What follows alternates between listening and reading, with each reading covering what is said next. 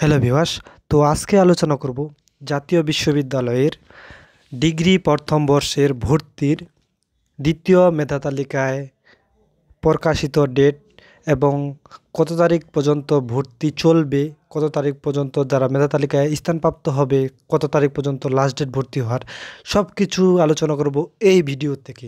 তো মনোযোগ সহকারে ভিডিওটি দেখবেন, কাটে কাটে দেখবেন না তো চলুন শুরু করি। তো তার আগে একটি কথা বলে নিই, যারা যারা আমার চ্যানেলে এখনও সাবস্ক্রাইব করেন নাই, নতুন দর্শক, অবশ্যই চ্যানেলটিকে নিচে সাবস্ক্রাইব বাটন আছে, অবশ্যই সাবস্ক্রাইব করে নেবেন। তো চলুন শুরু করি।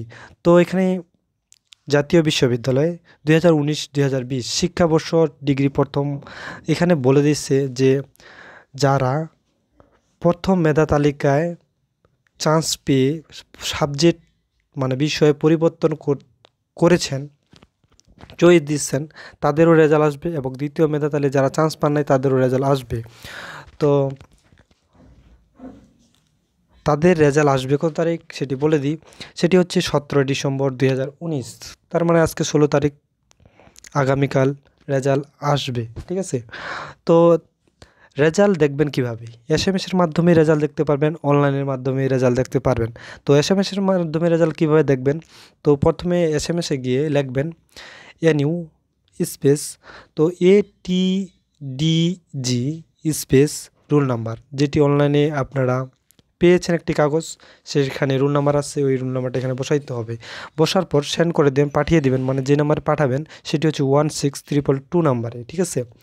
এই নাম্বারে পাঠিয়ে দিলে বিকাল চারটার মধ্যে আপনারা রেজাল্ট পেয়ে যাবেন। অবশ্যই বিকাল চারটার পর এস এম এসটা পাঠাবেন, তার আগে পাঠাবেন না রেজাল্ট পাবেন না, ঠিক আছে? তো যদি ওয়েবসাইটের মাধ্যমে রেজাল্ট দেখতে চান, এটা রাত নয়টার দিকে রেজাল্ট দেবে ওয়েবসাইটে ঠিক আছে? তো ওয়েবসাইটে এই লিঙ্কটিতে ক্লিক করবেন W W dot N U dot AC dot BD slash admission এটা লিখে সার্চ দেবেন। সার্চ দেওয়ার পর আপনাদের রুল ও পিন নাম্বার দুইটাই লাগবে। ওখানে লেখা আছে। ওখানে দেওয়ার পর অবশ্যই রাত নয়টার মধ্যে রেজাল্ট পেয়ে যাবেন।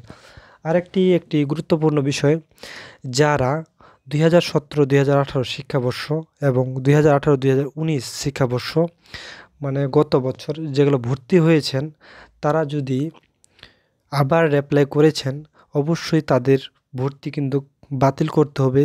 উনত্রিশে ডিসেম্বর দুই হাজার উনিশ তারিখের মধ্যেই তাদের ভর্তি বাতিল করতে হবে, ঠিক আছে?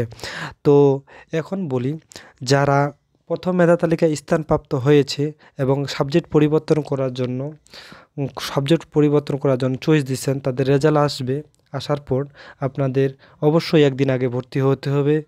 যেমন, এখানে রয়েছে সতেরো থেকে উনত্রিশের মধ্যে আপনাদের কম্পিউটার থেকে অনলাইন কপি বাইর করতে হবে এবং জমা দেওয়ার শেষ ডেট উনত্রিশ তারিখ পর্যন্ত, সতেরো থেকে উনত্রিশ।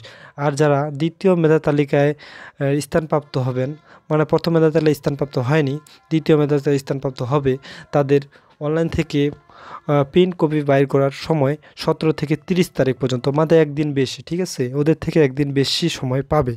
তো তারপর রয়েছে, এখানে দ্বিতীয় মেধা তালিকা যারা স্থানপ্রাপ্ত রয়েছেন, তাদের রেজিস্ট্রেশন ফি চারশো পঁচাশি টাকা।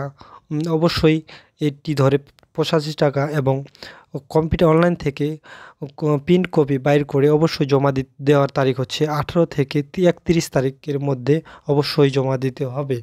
তো তারপরে রয়েছে কলেজের যে মেধা তালিকায় স্থানপ্রাপ্ত শিক্ষার্থীদের মানে এটি হচ্ছে সর্বশেষ এর থেকে আর সুযোগ থাকবে না।